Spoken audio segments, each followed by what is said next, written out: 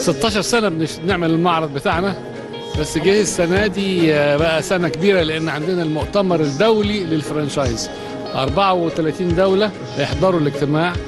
فإحنا قلنا نعمل بقى حاجة كبيرة في مصر لأول مرة بعد الثورة والاستقرار وكده يعني. فده إحنا مبسوطين إن إحنا بنعمل المعرض ده. وناس كتير موجودة يعني حوالي عندنا 70 زائر موجودين من الخارج. فأعتقد انعقاد المؤتمر في مصر له دلالات كثيرة جدا على ثقة المستثمر الأجنبي في القدوم لمصر. ويمكن أعتقد إحنا في الطريق للعودة إلى ما قبل آه، آه، 2011 لأن كان الحقيقة المبدأ ده يعني الفرانشايز الحقيقة ومؤتمر الفرانشايز كان بيجتذب أكثر من 130 140 عاد عارض سنويا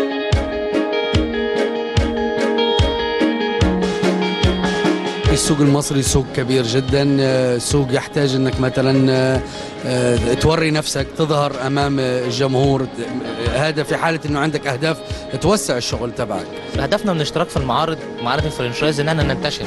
مش في محافظات مصر محافظات مصر كلها في القاهرة في اسكندرية في بورسعيد تروح في أي محافظة في القاهرة إحنا سعيدين نطلع بره وده هدفنا من مشاركة المعرض يعني. بنعمل فرص تشجيعية للشباب علشان يقدروا يعملوا بيزنس لنفسهم مربح. ويقدروا يشتغلوا وإحنا نكسب وهم يكسبوا.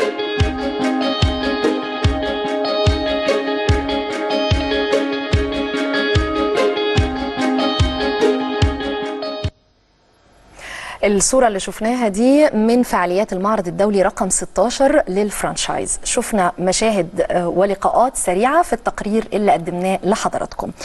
آه، المعرض ده بيقام تحت رعاية الدكتور مصطفى مدبولي رئيس مجلس الوزراء وبيعقد بالتوازي مع انعقاد المجلس العالمي للفرانشايز في مصر. الفرانشايز سريعا وإحنا بدأنا الحلقة وإحنا بنقدم آه، هذا الحوار كحوار رئيسي في حلقتنا بتعريفه هو طريقة للتجارة بشكل آه، مختلف عن طريق حق الامتياز التجاري. في ناس شايفة إنه ناجح وإنه آه، له أرباح مضمونة بناء على خبرة التعامل بيه على مدار سنوات طويلة جدا. النهارده إحنا بنتكلم آه، على هذه المنظومة في آه، سياق آه، جديد من خلال وبعيون ضيوفنا اللي معانا في الاستوديو وأيضا ضيوف آه، فعاليات المعرض الدولي 16 للفرانشايز اللي بينعقد بالتوازي مع المجلس انعقاد المجلس العالمي للفرانشايز في مصر. برحب بيهم. برحب بيه دكتور حاتم زكي الأمين العام للمجلس العالمي للفرانشايز. أهلا بحضرتك يا أهلا دكتور. بيك يا وبرحب ب مدام شانتال زيمر رئيس اتحاد الفرانشايز الفرنسي. أهلا بحضرتك. وبرحب بالأستاذ جوش ماريون نائب رئيس اتحاد الفرانشايز الأمريكي. أهلا بحضرتك. هبدأ مع دكتور آه، حاتم. ومفهوم الفرانشايز للي بيتابعنا دلوقتي يا دكتور ببساطة وازاي ممكن أن يتم الاستفادة منه في نطاقات أوسع؟ هو ببساطة شديدة هو عملية استنساخ لمشروع ناجح جدا. المستهلك يعرفه وبيقبل عليه. عملية الاستنساخ بتبقى للشكل والمضمون يعني شكل المحل والديكورات بتاعته والاسم الشهرة بتاعه وطريقة التشغيل بتاعته بالإضافة لعملية دعم مستمرة قبل فتح المحل وبعد فتح المحل. في مقابل مبلغ بيدفع آه، في الأول بالإضافة إلى مبلغ سنوي من المبيعات. ده بأسلوب يعني بسيط جدا. إيه أهمية انعقاد المجلس العالمي للفرانشايز في آه، مصر السنة دي؟ هو في الحقيقة ده انعكاس لثقة ال- الدول في الاقتصاد المصري تاني. إحنا أول مرة استضفنا المجلس كان في سنة 2007 آه. جالنا 12 دولة.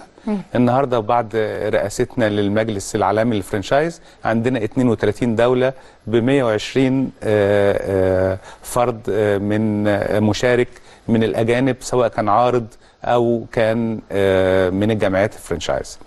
طبعا ده ما كانش هيحصل إلا لو آه، شافوا إن في تقدم كبير بيحصل في الاقتصاد المصري وإن إحنا سوق يستاهل الزيارة. مدام شانتال آه، برحب بحضرتك طبعا آه، معانا وأحب أعرف أكتر عن نشاط الفرانشايز في أوروبا في العالم.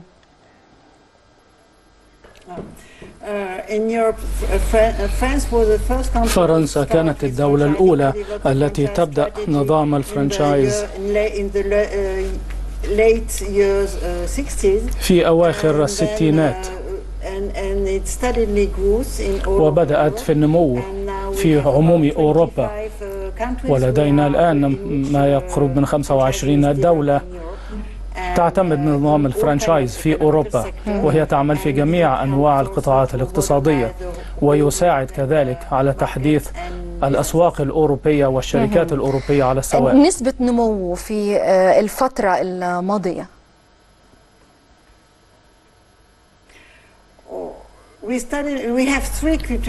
لدينا ثلاثة معايير.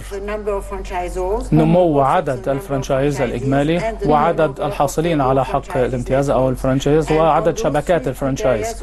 المعايير الثلاثة هذه حاليا نحن ننمو في الدول الأوروبية أعني ما بين أربعة وخمسة في المائة لكل من هذه المعايير. آه، مستر جوش أهمية فتح مجالات استثمار أوسع من آه، خلال الفرانشايز في آه، رأيك في الدول النامية.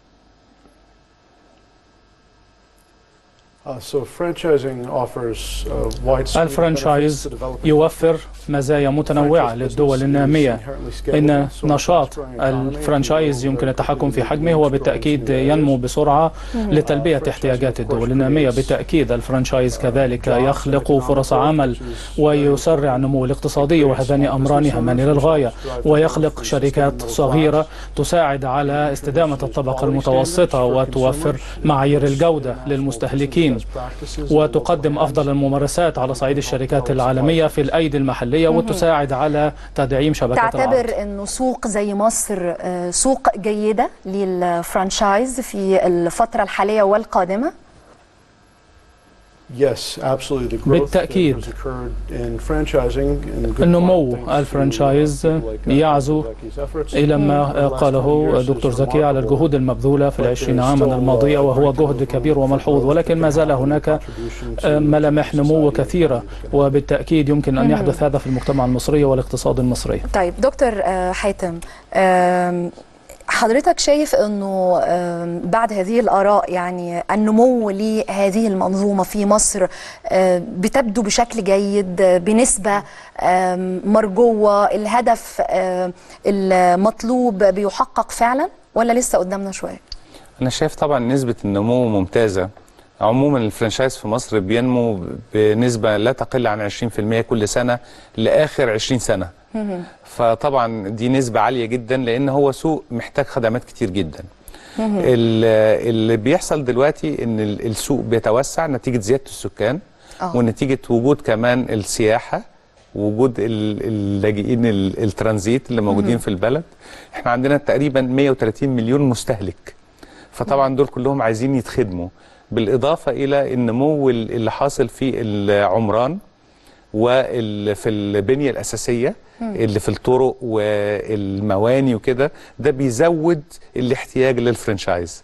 علشان كده متوقعين إن الزياده اللي في السنين الجاية دي هتبقى زيادة ممتازة آه، وخصوصا في ظل وجود 60 آه، مجمع تجاري حوالين القاهرة بس. آه. بيوفروا 6 مليون و200 ألف آه، متر مربع حوالي 16 ألف محل جديد هيفتح خلال السنتين الجايين.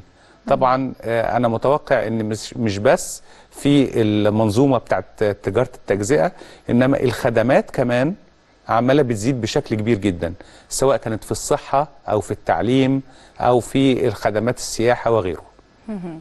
طيب مدام شانتال هل في معلومات لازم اللي بيقدم على نظام آه، الفرانشايز آه، يكون آه، متأكد منها يكون عنده فكرة عنها علشان ينجح.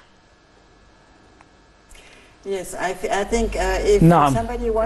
أعتقد إذا ما أراد أحد ما أن يطلق نشاط فرانشايز فعليه أن يحصل على الكثير من المعلومات. يجب أن يتحلى بالمعرفة الكافية.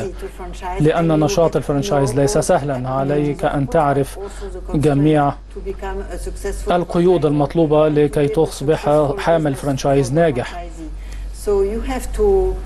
علينا بالتالي أن ننشئ البنية التحتية الملائمة أن نعلم الناس بدءا من الجامعات المتخصصة في مجال النشاط التجاري والحصول على الشهادات والتصاريح المطلوبة وبرامج تدريب لمن يريدون الحصول على الفرنشايز. أعتقد أن هذا مفتاح نجاح نشاط الفرنشايز لأن نجاح الفرنشايز هو نقل المعرفة الفنية. الناس يتعلمون طريقة جديدة. لتطوير أعمالهم وتطوير أنشطتهم وشركاتهم بطريقة ناجحة. وبالتالي الأمر كله مرتبط بالتعليم. في آه، ناس بتقدم على نظام الفرانشايز للاستثمار فقط لضمان النجاح آه، فقط آه، دون الاحتياج للبداية من الصفر. هل ده بيقيد الإبداع بيقيد الأفكار الجديدة اللي ممكن إنها تخدم الأسواق والمجتمعات؟ No, it, it never limitates innovation. كلا كلا هذا لا يقيد الإبداع على الإطلاق على نقيض من هذا. الفرنشايز يجب أن يتحلى بالإبداع دائما. يجب أن يبتكر في الخدمات والمفاهيم التي يريد بيعها وإيصالها للمستهلكين. ونحن نعلم أن المستهلكين يتوقعون تقريبا كل يوم يتوقعون بضائع جديدة خدمات جديدة وبالتالي على نظام الفرنشايز أن يتطور. وجزء كبير من استثمار الفرنشايز يكمن في الإبداع. الفرنشايز كذلك هو طريقة لتحديث الصناعة والنشاط التجاري بأكمله.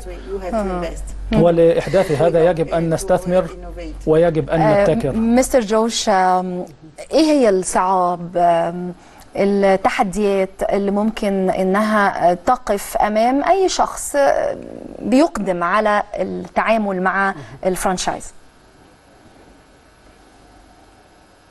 So, for your question, uh, one of the إجابة على هذا السؤال أحد العوامل التي قيل بالفعل أن هذا يتطلب استثمارات.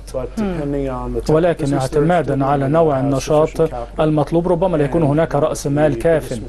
وهذه بالتالي هذا يقودنا إلى أحد أكبر الأخطاء وهي الدخول في نشاط الفرنشايز برأس مال قليل. هناك كذلك على المستوى النفسي والمستوى الشخصي. الفرنشايز ليس اتباع وصفة محددة ولكن الفرنشايز يشار إليه. ليس باعتباره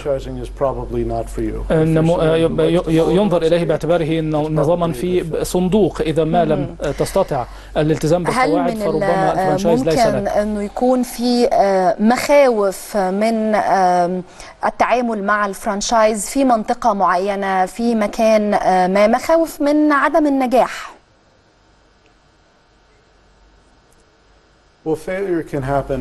الفشل. قد يحدث في أي نشاط تجاري والفرنشايز يتطرق إلى الكثير. من القطاعات والصناعات في أي اقتصاد وهو. يتطور ويتعرض لصعود وهبوط مثله مثل 90s, غيره. وحدث هناك هبوط كبير في التسعينات ولكن ما من أحد يريد حدوث هذا الآن الفرنشايز يمر بدورات حياة كثيرة يجب أن نوليها اهتماما كبيرا Franchises can be sold. الفرنشايز يمكن uh, بيعه they can be renewed. يمكن تجديده So it's important that franchisees وبالتالي من المهم لحاملي حق society أن يواكبوا تطور المجتمع. حتى يستمتعوا بنجاحهم آه، دكتور آه، حاتم حضرتك شايف أنه في مجالات معينة لو بنتكلم عن مصر علشان نكون محددين في آه، التعامل مع الفرانشايز أنا شايف إن الفترة اللي جاية دي هي الفترة اللي هيزيد فيها الخدمات بتاع الفرنشايز. والنهاردة كان بنتكلم في المؤتمر على الم- ما يعرف بالفرنشايز الاجتماعي. آه. إزاي إن أنا أنقل خدمة آه، آه، اجتماعية في بشكل تجاري. إزاي آه، ممكن أعمل مثلا وحدات صحية تدار باحترافية أكنها بيزنس بالظبط. وفي نفس الوقت توصل بخدمة عالية وتوصل بجودة عالية لل- للمستقبل وبدون ما هو يدفع الفلوس حد تاني يدفعها سواء كانت الحكومة أو ممكن يبقى شركات من واقع المسؤولية الاجتماعية أو ممكن من تبرعات. آه، ودي أنا شايف إن هي حاجة مهمة جدا بالنسبة لمصر. إحنا عايزين نتوسع في خدمات كتيرة زي الخدمات الصحية خدمات التعليمية ال- الحضانات عندنا مشروع بالفعل كده آه، زي مشروع جمعيتي اللي عاملاه وزارة التموين. النهارده بقى أكبر فرنشايز مش في مصر بس في الشرق الأوسط. بيوصل سلع مدعمة للشعب الفئات الأكثر احتياجا وفي نفس. الوقت بيدار بمنظومة احترافية. هي دي آم، أو مشروعات آه، ناجحة مربحة؟ أكيد. الفرنشايز قايم على إن هي مشروعات كلها ناجحة آه. ومقبولة من المستهلك أو من المستفيد. لو مش مقبولة وناجحة وبدر دخل آه. هيقفل. ببساطة شديدة. قبل لما حد يقدر يحول العمل بتاعه للعمل بنظام الفرنشايز لازم يكون مقبول من الجمهور من المستهلك ولازم يكون ناجح وبيكسب. ده بيتم قياسه إزاي؟ يعني هو بيتعامل بالأساس مع علامات تجارية آه، كبيرة. آه طبعا. آه يعني بيتم قياس المعايير اللي حضرتك ذكرتها دي إزاي؟ آه هي هي قياس طبيعة المستهلك وقبول المستهلك للمجال. والمشروع. هو, هو المفترض ما حدش يحاول يعمل آه، آه، فرانشايز آه، بيزنس قبل لما يكون آه، ناجح. ما ينفعش تعملي آه، فرانشايز آه، بيزنس لماركة لسه ناشئة ما حدش يعرف عنها حاجة. أو منتج مش مقبول. هو بعد لما يبقى معروف ومقبول. وبيكسب تقدري تحوليه بعد كده لنظام الفرانشايز مهم. طيب على آه، ذكر الفرانشايز الاجتماعي مفهوم الفرانشايز الاجتماعي آه، في رأي حضرتك إزاي ممكن يساهم في تنمية المجتمع؟ Uh, yes, of course, and uh, بالتأكيد هو يساهم يستطيع أن يساهم في مساعدة الفقراء في الحصول على فرص عمل وإنشاء شركات حتى كما يستطيع مساعدتهم على الخروج من ظروفهم الصعبة والفقر ويرفع من مستوى المجتمع. وكذلك هناك معنى آخر للفرانشايز الاجتماعي واعتمادا على خصوصية كل دولة في بعض الدول. الفرانشايز الاجتماعي يخرج الناس من فقرهم ويعطيهم فرصة في دول أخرى مثل فرنسا على سبيل المثال. نحن نعني بالفرانشايز الاجتماعي. هو استخدام منظومة الفرانشايز وكل الاحترافية الموجودة بها في تطوير أنشطة خيرية. لأن هناك الكثير من الأنشطة الخيرية التي تطلق بدون احترافية وهذا يعد مالا مفقودا. وبالتالي نحن نستخدم المعرفة الفنية والعلامات التجارية واستخدام ال- والسيطرة لحامل حق الفرنشايز على النشاط الفرنشايز في بتطوير الأنشطة الخيرية بطريقة فعالة. وهذا هو أحد مزايا الفرنشايز. علينا أن نعرف بالتالي ما الذي نتحدث عنه. حينما نتحدث عن الفرنشايز الاجتماعي في مصر إذا ما كان له أن يساعد الفقراء فبالتأكيد سيكون ناجحا. مستر جوش الحديث عن الفرانشايز آه، بيساوي الحديث عن آه، أموال كثيرة لبداية المشروع أو لدعمه من العلامة التجارية. هل من الممكن أنه المشروع يبدأ بأموال يعني آم، قليلة بسيطة؟ So, كما ذكرت hmm. الفرنشايز ينتشر في عدة صناعات وعلى اختلاف الصناعة يختلف مستوى الاستثمار. فبالتأكيد نحتاج إلى الكثير من الأموال لبناء فندق على سبيل المثال ولكن الأنشطة المنزلية أو الأسرية الصغيرة مثل خدمات التعليم أو الخدمات البسيطة تتطلب مقدار ضئيل من المال. هناك الكثير من الدول تستخدم الفرنشايز ضئيل الحجم أو ال micro money. يمكن البدء بمقدار مال صغير للغاية وإذا ما نجح الشخص بهذا الكم فيمكن بيع هذا الفرنشايز والبدء في نشاط فرنشايز أم، أكبر حجما طيب، إذا ما أراد. زي ما سألت مدام شانتال عن الفرانشايز الاجتماعي أحب أسمع رأي حضرتك كمان في الفرانشايز الاجتماعي ومساهمته في تنمية المجتمعات Yes. So, social franchising extends the الفرنشايز franchise model الاجتماعي يوسع نموذج الفرنشايز pyramid, بحيث يصل إلى الناس في. قاع الهرم الفئات السكانية الأكثر معاناة وهو لا يستهدف الربح بشكل أعم يستخدم الجمعيات الأهلية بشكل أساسي ويبحث في كيفية تعظيم الاستدامة الاقتصادية وقياس المخرجات والمدخلات بدلا من الاكتفاء بقياس المدخلات فحسب وهذه تحديات كثيرة يقوم بمواجهتها. آه، دكتور حاتم نفس السؤال الحقيقة الخاص بالبداية بأموال آه، قليلة. لما أتحدث عن مصر تحديدا وإلشباب اللي يعني عنده المؤهلات اللي تخليه إنه يتعامل مع العلامة التجارية ونظام الفرانشايز ومؤمن بنجاحه. ولكن الأموال يعني آه، بسيطة. هل ده ممكن ينجح في مصر؟ أو أساسا ممكن يلاقي القبول للتعامل بالفرانشايز من قبل العلامة التجارية؟ هو برضو نقسم ال- الفرنشايز لكذا نوع مم. في الفرنشايز اللي هو الصغير قوي لدرجة إن هو ممكن يبقى وظيفة فرنشايز يعني مثلا آه. آه. الوظائف الم- المهنيين زي السباك النجار. آه، كل دي ده بيسموها job franchise اللي هو بنديله عدة آه، وبنعلمه إزاي يعملها مم. وفي نفس الوقت بتبقى في شركة هي اللي بتديره ودي حاجة إحنا في مصر ناقصانا جدا وكلنا أظن بنعاني من المشكلة دي. في نوع أكبر من كده شوية هي زي العربيات بتاعت الأكل اللي في الشوارع أو اللي بتقدم ال- المشروبات. آه، وممكن أكبر من كده يبقى كشك. يبقى كشك جوه شوبينج مول آه، كل دي حاجات صغيرة. اللي اكبر من كده يبقى محل. أكبر من كده يبقى فندق زي ما المثال اللي كان بيقول. كل ده موجود في مصر حاليا. ال- الفكرة بقى إن هو الشاب هيلاقي فين هيعرف الحاجات دي منين. ممكن يروح معرض زي المعرض اللي موجود حاليا آه، لمدة ثلاث أيام النهاردة وبكرة وبعده. آه، هيشوف كل العلامات التجارية المتاحة وهيقدر يتفاوض مع آه، أو يسأل أصحاب العلامات التجارية هم يقدروا محتاجين منه إيه. وفي نفس المكان موجود دلوقتي في البنوك والسنة دي في الحقيقة ظاهرة.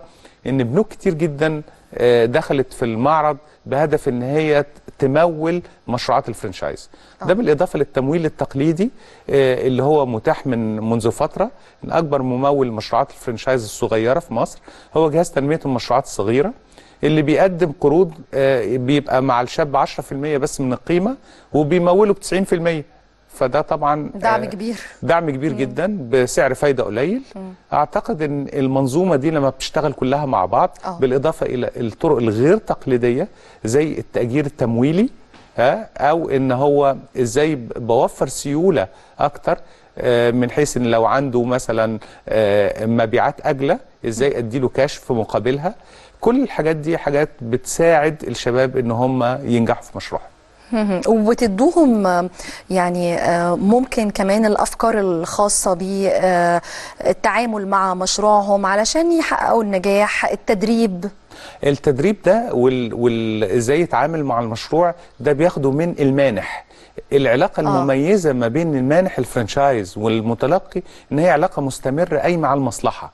لأنه هو المانح بياخد نسبة مئوية من المبيعات. الس... من أرباح ال- المبيعات. من من, من أر... لا من المبيعات. من المبيعات. من المبيعات آه. الخاصة بال... بالمتلقي. فإذا هو عنده حرص شديد إن المتلقي ده ينجح. يعني كل لما يكسب أكتر المانح يكسب أكتر. الجمعية المصرية للفرانشايز ليها دور في عملية التدريب؟ آه طبعا. إحنا عندنا في تدريب مبدئي للي عايزين ياخدوا فرنشايز بنقول لهم يبصوا على إيه؟ إزاي آه. ينقوا الفرنشايز وبندرب المانحين نفسهم إزاي يحولوا في الأول ال business الناجح بتاعهم لنظام franchise مم. وإزاي يتوسعوا بنظام ال franchise في الحقيقة واحدة من من المميزات الكبيرة اللي إحنا استفدنا منها من وجودنا في المجلس العالمي لل franchise إن إحنا بنتعلم.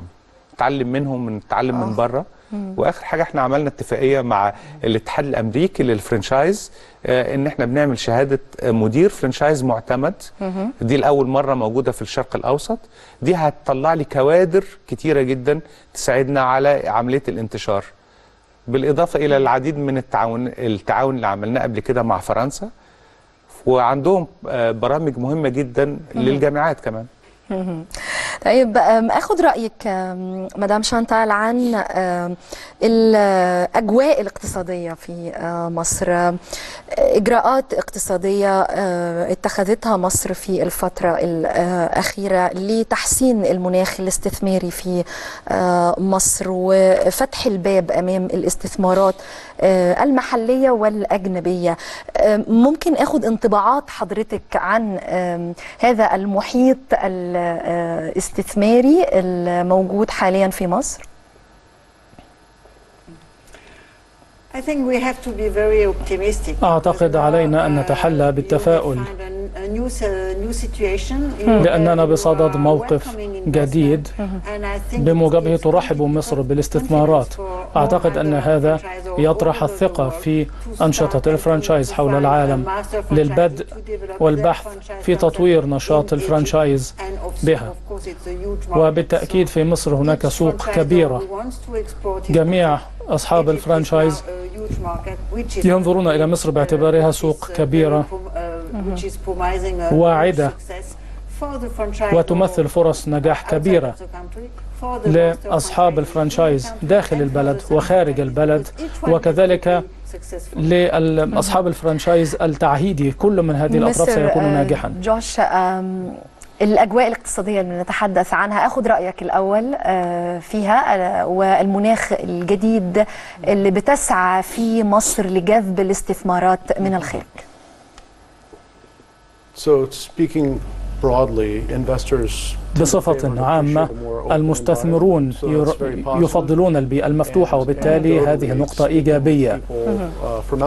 أتحدث ما تحدثت مع الكثيرين الذين يزورون مصر من خارج مصر وكثيرون منهم أخبروني أن البيئة في مصر الآن أكثر جذبا عما كانت منذ 10 أو 15 هل عاما. ممكن أن حضرتك تشجع الشركات الأمريكية للقدوم إلى آه، مصر في الفترة الحالية؟ Yes, absolutely. One of نعم، the بالتأكيد. fruits that meetings like this bear أحد ثمرات هذه الجهود هو community, and we get to see التقابل مع أعضاء المجتمع العالمي للفرانشايز ونحن نتحدث معهم بشأن مصر. الكثير من هذه الاجتماعات في الماضي أدت إلى بعثات تجارية أمريكية خططت لمصر بحيث يستطيعون اكتشاف فرص النمو في السوق المصرية وهذا أمر. بلا شك سنناقشه. أخيرا آه، دكتور حاتم انطباعات حضرتك على فعاليات المعرض المجلس العالمي للفرانشايز اللي بيقام في القاهرة. نظرتك للمشهد بالكامل. في الحقيقة نظرة متفائلة جدا. لما يجي 32 دولة وفي نفس الوقت بقيه ال- الدول ال 46 يوصل لها التقارير بتاعتنا وال- والفعاليات بتاعت الاجتماع ويبتدوا يوزعوها على أعضائهم. إحنا عندنا 45 ألف علامة تجارية عالمية أعضاء في التجمع بتاعنا. آه، اتنين وستة من عشرة مليون بيزنس شغالين أعضاء عندنا في في التجمع ده. دي عملية إعلان كبيرة جدا بنعملها على مستوى العالمي علشان السوق المصري. ويمكن ده أهم هدف بنحققه من استضافة المجلس العالمي للفرنشايز في مصر.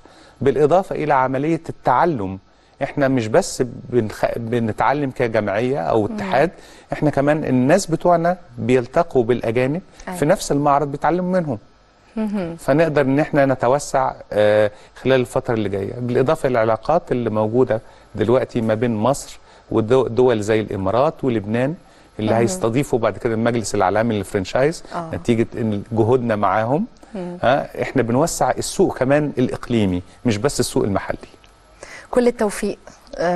ويعني آه، إن شاء الله آه، يكون في آه، سوق أوسع لل franchise في آه، مصر في إطار خطوات اقتصادية آه، مصر بتقوم بها لجذب استثمارات على المستوى المحلي والأجنبي أيضا ومواكبة الأسواق العالمية اقتصاديا. شكرا لحضرتك شكراً. فندم. دكتور حاتم زكي الأمين العام للمجلس العالمي لل franchise. شكرا لك شكراً. وبشكرك مدام شانتال زيمر رئيس اتحاد ال franchise الفرنسي. شكرا على وجودك معنا. وعلى تلبية الدعوة آه، مستر جوش ميريان نائب رئيس اتحاد ال franchise الأمريكي. شكرا لوجود حضرتك معنا. وعلى تلبية الدعوة. شكرا. شكرا جزيلا. شكرا. بعد فاصل قصير تحذيرات نقابة الصيادلة من التعامل مع ال social media في شراء الأدوية وأنها في منتهى الخطورة على الحياة. خليكم معنا.